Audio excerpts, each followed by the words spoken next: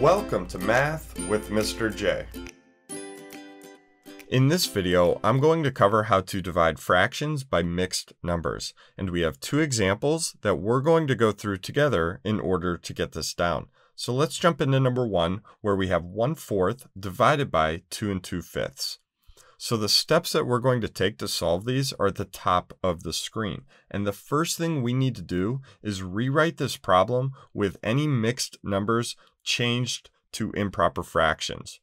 So we'll rewrite 1 fourth already in fractional form here, divided by, well, let's change 2 and 2 fifths to an improper fraction.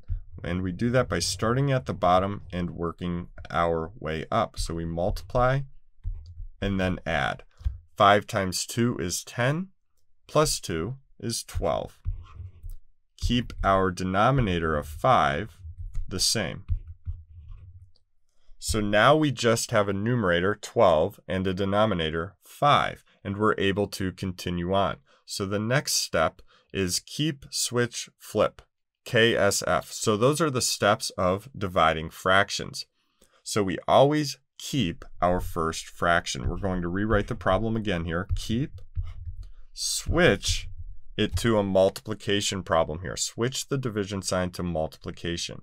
And since we switched to the opposite of division, multiplication, we need to flip our second fraction. So flip, meaning the 5 is going to be the numerator now, and the 12 is going to be the denominator. So 5 and then 12. Now we're ready to multiply straight across and get our answer. But before doing so, we can always check to see if there is any opportunity for a cancellation, which you can think of as simplifying the problem before multiplying straight across.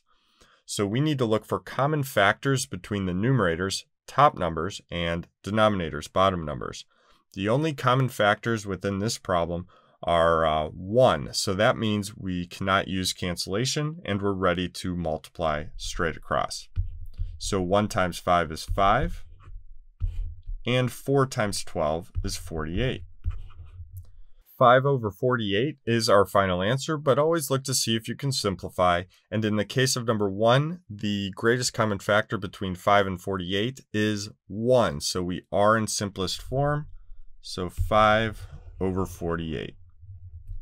All right, let's move on to number two here, where we have 5 eighths divided by 6 and 2 thirds. So first thing we need to do, rewrite the problem with any mixed numbers converted to improper fractions. So 5 eighths we keep. The same here, it's in fractional form. Divided by, start at the bottom, work our way up, multiply, and then add. So 3 times 6 is 18, plus 2 is 20 denominator of 3 stays the same.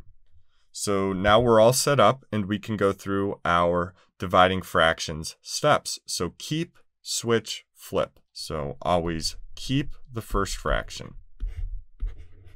Switch to multiplication and then flip. So we have 3 over 20 now.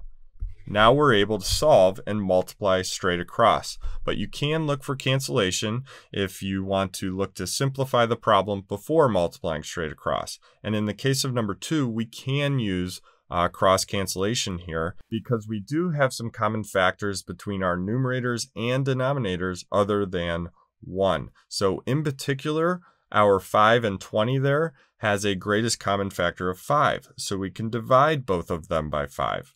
5 divided by 5 is 1. 20 divided by 5 is 4.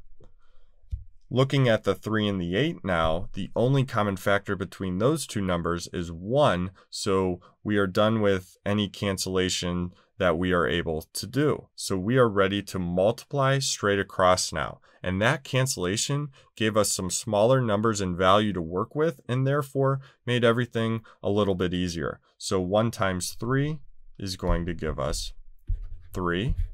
And 8 times 4 gives us an answer of 32. So we get to 3 over 32. Look to see if we can simplify. but um, in the case of that answer, it is in simplest form. The only uh, common factor between 3 and 32 is 1, and therefore the greatest common factor. That means we are in simplest form.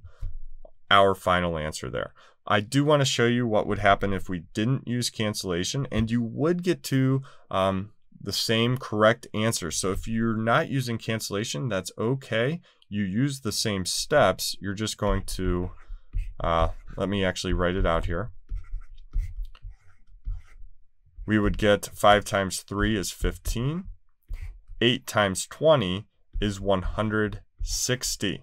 So uh, then we would have to simplify that because 15 and 160 has a greatest common factor of 5. So we can divide both by 5 here. And we would end up with 3 over 32. So we got to the same answer, we just had to simplify more at the end there rather than simplifying before multiplying straight across. So there you have it. There's how you divide fractions by mixed numbers. I hope that helped. Thanks so much for watching. Until next time, peace.